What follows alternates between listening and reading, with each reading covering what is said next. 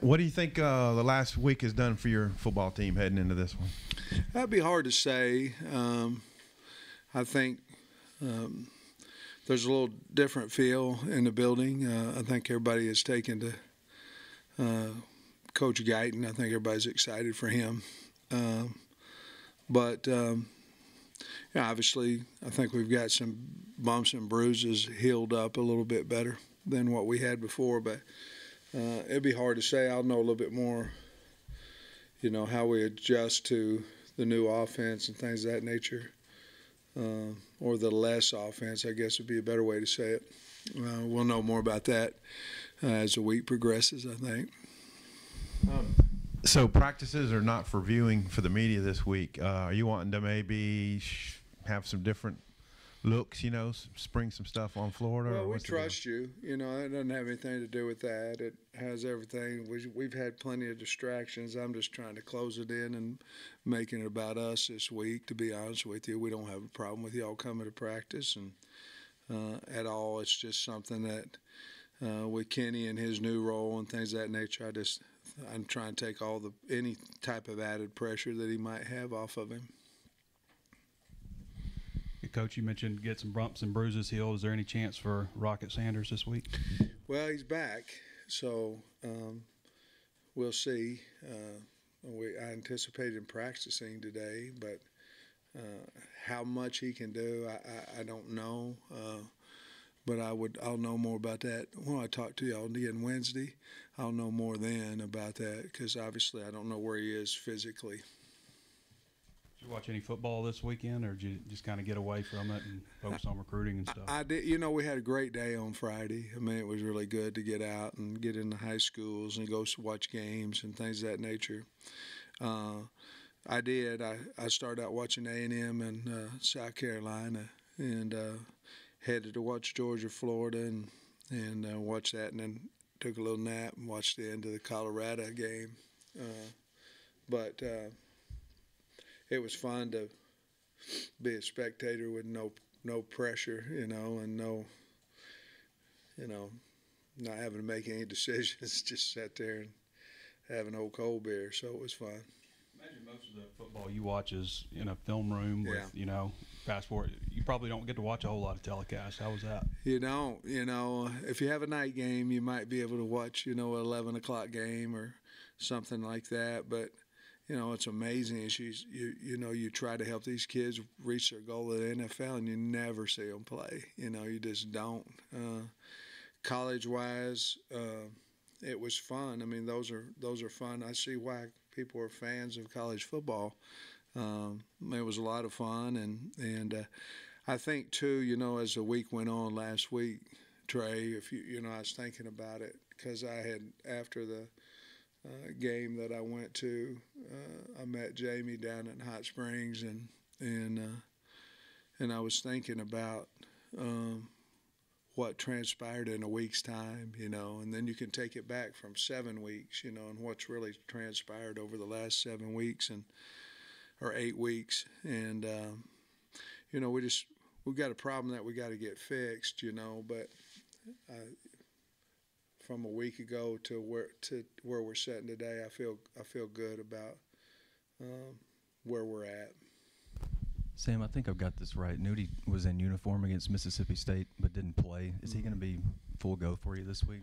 Well, he was full go. You know, he's he's uh, still trying to uh, work his way uh, into uh, playing time. You know, but he, he was full go. He was able to play last week. It's just um, uh, right now he's not starting for us. You know, so Just sticking to um, with the defense, how do you keep the mojo going that you've got? I guess from the Mississippi State game previous weeks, how do you carry that after a bye week? Well, I think they just they'll continue to play hard.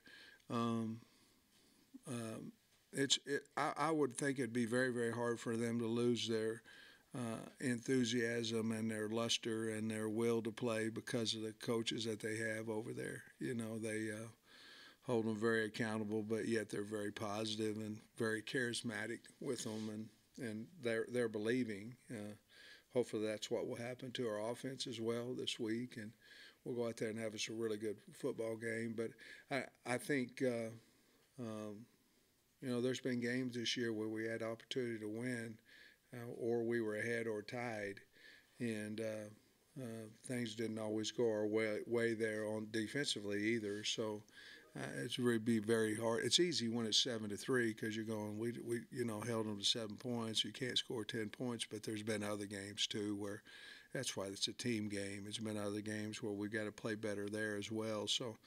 I don't think I, I, there's no this, this, and this. I think we had a problem. I think the team feels like I'm trying to correct it, and I think they're fine with it. Uh, bye weeks can sometimes be a time where the uh, young guys might flash when you're Yeah. not preparing for a specific opponent. Just Yeah. curious if anybody maybe had a good week and we we didn't. Uh, you know, a lot of times, I think maybe two years ago, we had a freshman or a freshman, sophomore, young, not playing scrimmage. I remember we got we had a knee injury in that time. Not, I'm not laughing about it. We we did, and I was going, man. I wish we wouldn't have done that now. But um, this week was more of a run throughs on Tuesday, Wednesday, and then we practiced on Thursday. So really, it was more about, and it had to be that way because of the new coordinator. Uh, you know, it just changed this week, so we weren't able to quite get the young younger guys in view as much as what we normally would in a bye week. I think I think you said last week that Chambly was okay after the back injury. Still, he's, fine. fine. this week. Yeah, he's fine. I think him and Dev will, will figure it out this week. Who will be the starter there? They'll both play. Sam, have you ever been on a staff where there was a, a mid-season coordinator change? I'm just curious if you have anything to like look Mm. back on to kind of help you through this this past week, or do you talk to mentors or anything like that? Man, I don't think I've ever been through a midseason coordinator change. I've had a lot of jobs. Um, I've been through some late season head coaches getting fired. It's terrible, you know. Uh, but I, I don't know. I mean, it's terrible for everybody fans, players, coaches. Um, but I don't know if I've ever been through that. What what I wanted to do is make sure that we brought the life back into the program, brought the enthusiasm back into the program, accountable, accountability. And I'm not saying we didn't have any of that before because it makes me sound like I'm blaming a guy. I'm not. I've already spoke about Dan and my respect for him, but something has to change, you know. And uh, so um, I feel like we've done that but I, I, I can't remember ever having a coordinator change during the season, to be honest with you. And you mentioned simplifying the playbook, condensing it down. Is that process done now? Now you're focusing in on your set of plays, and what maybe per, do you know what kind of percentage is like 50% of the playbook, or do you know? Man, um, it we probably cut it down. I don't know if I'm guessing maybe thirty percent of it we cut out. Um we're trying to do the things we do well, you know, and and uh, more specific to what we can do versus how to attack a defense. Now, hopefully, they'll combine with checks and RPOs and a way to throw off of that and run off of that. But um, probably about 30%, and probably cut another five last night, to be honest with you, because some of the things we had in, we just, I want to be able to do it with that everybody's uh, on the same page, blocking the right guys, and and uh, playing as fast as we possibly can with um, ability to have that tempo and all those type things, and uh, so you have to cut your playbook down a little bit because of that. But um, what we're doing, I think we're doing pretty good, and so we cut a little bit out of it last night. Coach, I know we talked about chipping and stuff with the running backs and tight ends in the past. I was curious how you, uh, I guess, assess uh, the pass protection from the running back group to this point in the season. Um, we've got to get better. Um, not not solely just on. Uh, probably, obviously, our worst game was against Mississippi State, um, but we have to get better there. We also had to put them in less possibilities to protect as well. I mean, obviously, on third down, you've got choices. You know, what kind of protection do you want to use? Um, you want to go six, seven, five man protection. How do you want to do it? Um, but you know, Damo has been really the biggest back in protection and things of that nature, and we've used him a little bit, but um, it's got to get better, um, and the kids know that as well. Um, but um, Florida certainly has a defensive end that that is really good, and uh, and they have a couple of them. Uh, but uh, number one is exceptional. Got a nice spin move and things. We really have to. We can't let him just wreck our game. That was going to be my next question. I guess I'm assuming you know you've watched a lot of Florida tape to this point. Just what do you think overall of the Gators? Uh, a lot of team speed. Um, you really want to stay out of third and long. They've got a lot of stuff. Um, so we're we're having to figure out exactly how we're attacking that. We've got an idea of how we think we can win third down. Um, but uh, you know they're they're a lot like Georgia was. You know, uh, meant um, odd front with four man front, uh, a lot of field pressure, um, a lot of boundary free safety pressure. Um, third down, big time exotic team. Offensively, they want to get the ball to the edge. You know, whether it's stretch, whether it's reverses. I really like what they're doing offensively. They are hiding the football. You know, it's old school wing T. You know, who has the ball? I mean, it's not wing T, but you get the idea that they they want you to figure out where the ball is a little late, and a lot of dressing pre-snap and post-snap. But they're they're really wanting to. Uh, attack the edges, uh, no matter what that might be. A lot of reverses, a lot of jet sweeps. They've got two, at least two, really good running backs that they love to run the stretch with, and they're both really good players. Their quarterback, you know, is very accurate. Doesn't throw a lot of deep balls, but the balls that he throws, he's very, very, very accurate. Very good player. I don't know. Do you know Billy Napier? How well do you know him? And kind of what he's in his second year. He's obviously trying to get Florida back to where they have been. Yeah. Just kind of what what's your take on maybe where they are? Oh, I like Billy a lot. Um, came up through Louisiana and and uh, uh, did a wonderful job there at the university and and I know a lot of or I know the O line coach Rob Sale on the staff and and have a lot of respect for Billy. Um, and uh, he's got them playing really hard and and uh, you know they've they've got a good team. There's a heck of a win against South Carolina a couple of weeks ago to come back like that down ten, and uh, but I have a lot of respect for him. I think the whole coaching community has a lot of respect for Billy. You, you mentioned well, you didn't mention him, but their quarterback Mertz, you know, transfer from Wisconsin. He, he's got 14 touchdowns, only two picks. You know, 76% completion rate. Maybe a little more thought thought on him. Um, a lot of play action, a lot of naked throws, a lot of bubbles, um, uh, not a lot of shots, um, not a lot of long balls. Let's say that. I mean, they, they, they attempt those, but I would say the majority of their passes are within that 10 yard and under. You know, on third, on fourth down against South Carolina, they threw one out there about plus three. They need 11, and the guy just made a play. They've got two, they got more, but one and three is what wideouts are really, really good players, and and um, one of them's a freshman, I believe, the number one, and uh, um, but they're not asking him. Uh, to me, to sit in there and read the full field all the time. Now they do, obviously, but to me, they run a lot of things that um, he can do and he does well and uh, therefore they're not putting him in a lot of positions where he's throwing it up for grabs. With with kind of the knock on effect of Kenny being OC, just has Derek I couldn't, I couldn't hear you. with uh, Kenny being OC, d- d- has Derek done anything different with the receivers so far, or do you plan to do anything different with them? no, I think Kenny uh, is uh, uh, involved with the receiver play as well, but uh, no, not to this point. I mean, we're we're trying to cut down some of the things that we do so they can do them a little bit faster, but. Um, no, not. I don't think anything's different. Then you find uh, we talked about how you have some time to watch some football this week, and any time for personal reflection that you weren't, you know, preparing for a specific opponent. Uh, oh, I think you do that daily and maybe hourly and what's the word, minutely? I don't know what it is.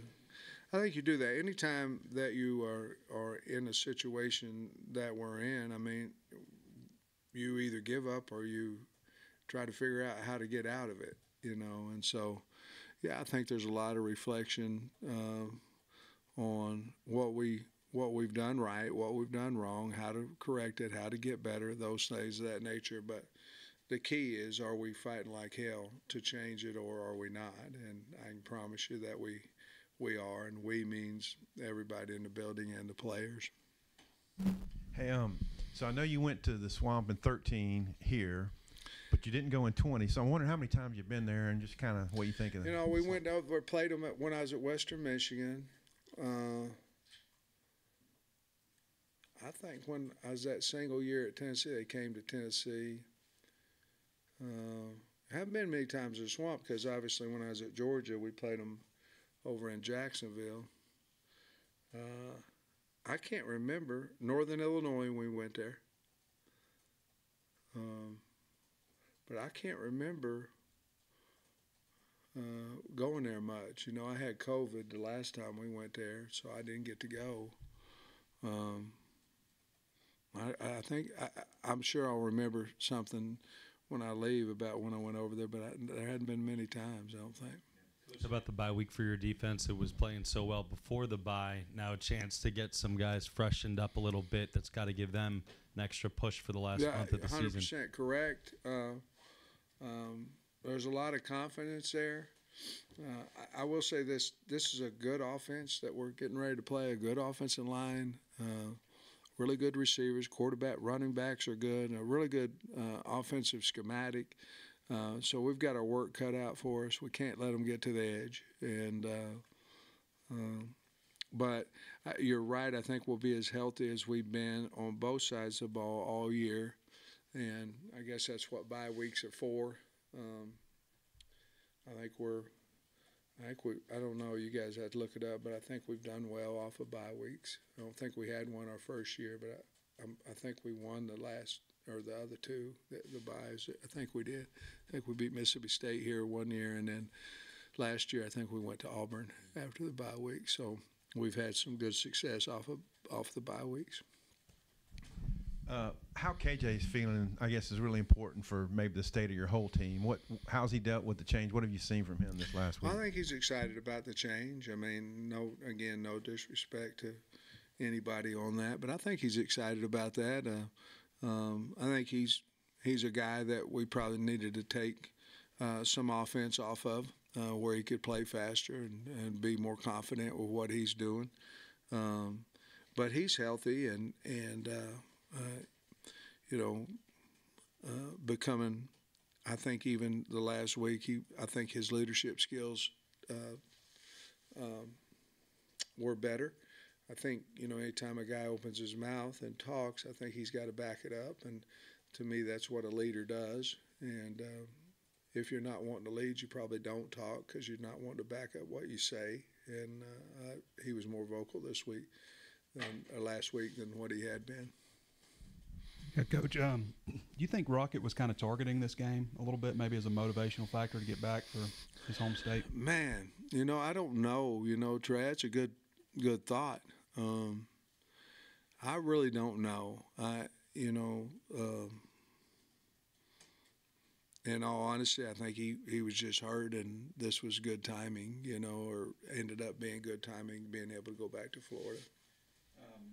Not a whole lot of Florida players on your roster. I think you got five scholarship players, two Yeah, that you you- recruited, two pretty good running backs, Augusta and Rocket. You guys planning to get out and look at players in the in Florida, or Probably not this week. Uh, you know, again, I think with the change, everything kind of changed a little bit, and we're trying to keep everything in house. Um, um, so I won't let my or that we won't be out uh, recruiting this weekend because again, it's an early game as well, and you know, I mean we we got to do everything we do to put the best product on the field that we that we can, and. Uh, so I think with all what we're doing, we're just trying to make about us, and we're going to kind of stay in the submarine this week.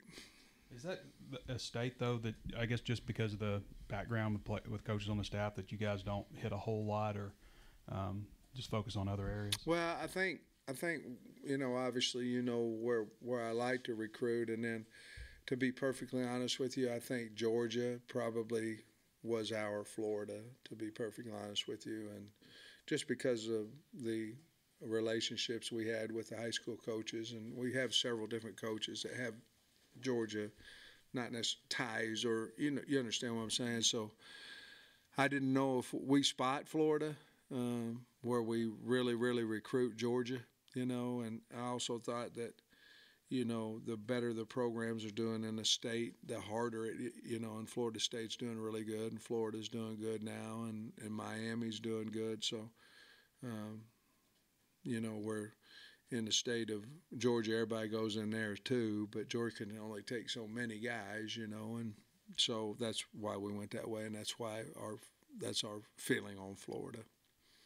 Uh, just curious with, with Kenny, I know he's coaching quarterbacks now, but his experience at receiver, now being the offensive coordinator, how is are there any ways where he can maybe start to maximize the the wide receiver unit now that he's calling plays? Well, he knows them better than anybody, you know. So um, I think targets for for whom he thinks are his best players is going to be big for us, and uh, um, and he knows them better than anybody. So he should be able to know what routes they can run the best and wh- where they can get open, and and uh, we can get it to them faster. You know, you watch tape and and uh, you look at a lot of different things on tape, but um, what you might or might not look at is uh, how fast the quarterback gets rid of the football.